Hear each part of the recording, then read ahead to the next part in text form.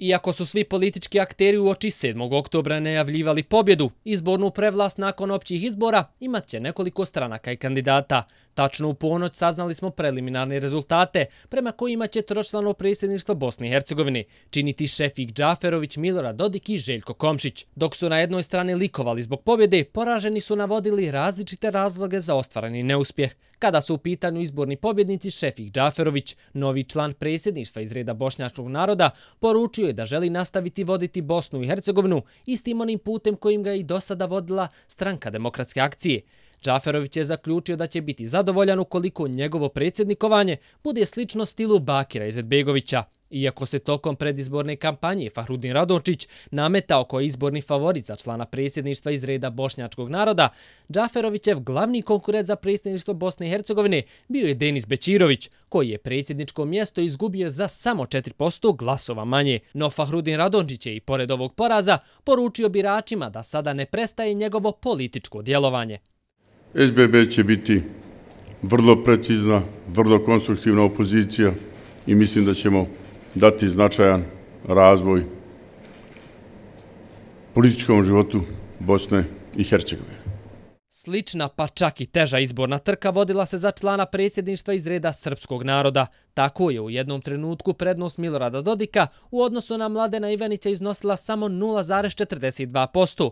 Saopćili su iz partije demokratskog progresa. U konačnici je Dodik pobjedio za više od 60.000 glasova. Strani mediji koji su pod budnim okom pratili izbore u Bosni i Hercegovini, referirajući se na izborni rezultat, pišu da je proruski, srpski nacionalista Dodik izabran za predsjedništvo Bosne i Hercegovine.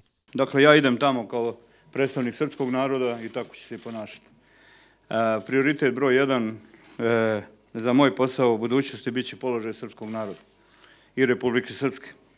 A kada je u pitanju član predsjedništva iz reda Hrvatskog naroda, pobjedu je odnio Željko Komšić. Imao je oko 46.000 glasova više od dosadašnjeg člana predsjedništva Dragana Čovića. Najoštrija predizborna retorika vodila se upravo između ova dva kandidata, a Dragan Čović i nakon izbornih rezultata smatra Komšića nelegitimnim i nametnutim predstavnikom Hrvatskog naroda ne možete Hrvatima birati legitimne predstavnike ni u Dom naroda, ni u predsjedništvu, to je moja poruka i večeras. To je put nazadovanja, to nije evropski put. S druge strane, Demokratska fronta smatra da je upravo Čovićeva politika antievropska i nazadna, te da je pobjeda Komšića zapravo pobjeda Bosne i Hercegovine, jer to sprečava antibosansko djelovanje dvojca Dodik Čović u predsjedništvu Bosne i Hercegovine. Izborili smo se za civilizacijske i univerzalne vrijednosti, e, gdje svaki građanin kao čovjek, kao ljudsko biće treba da bude jednak i da ima jednaka prava. U stvari to je borba e, gdje je prvi najznačajniji korak u tom pravcu učinjen izborom e, gospodina Željka Komšića u predsjedništvo Bosne i Hercegovine a osim uzbudljivog i neizvjesnog raspleta situacije za presjedništvo Bosne i Hercegovine, u Federaciji Bosne i Hercegovine stranka demokratske akcije i kao i 2014. godine osvojila prvo mjesto, dok je zabilježen izborni rast socijaldemokratske partije uz primjetan pad Saveza za bolju budućnost. Također koalicija HDZ BIH, HSS, HKD BIH, HSP, DRAS BIH, HDU BIH, druga je po broju glasova u Federaciji Bosne i Hercegovine. Kada je u pitanju parlamentarna skupština Bosne i Hercegovine, vodeći su SDA i SNSD. Sada nam slijedi postizborno vrijeme ili vrijeme kada se dogovaraju koalicije i uspostavlja vlast. Analitičari očekuju koaliciju SDA i HDZ-a na nivou Federacije BiH, a Milorad Dodik je iskazao spremnost da koalira sa SDA, ali i sa SDP-om.